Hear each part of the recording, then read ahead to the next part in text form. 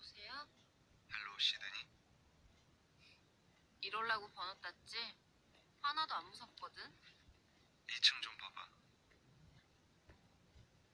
무슨 2층?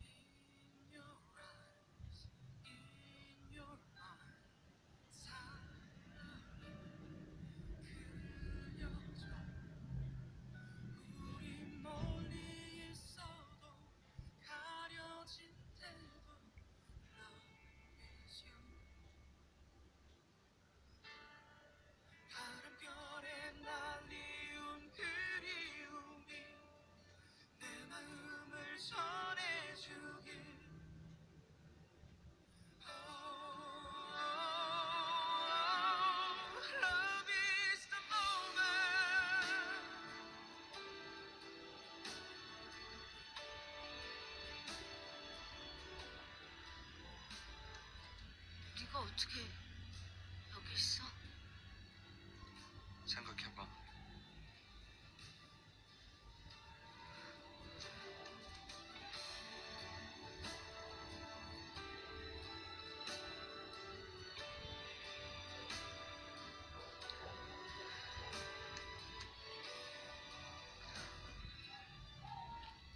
혹시 네가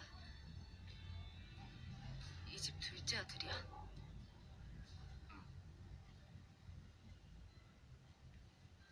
네가 제국그룹 둘째 아들이야?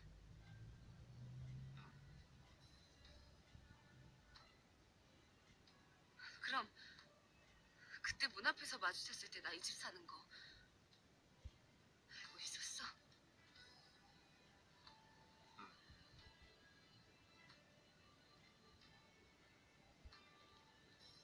나 이 집 메이드룸에서 사는 거 알고 있었어?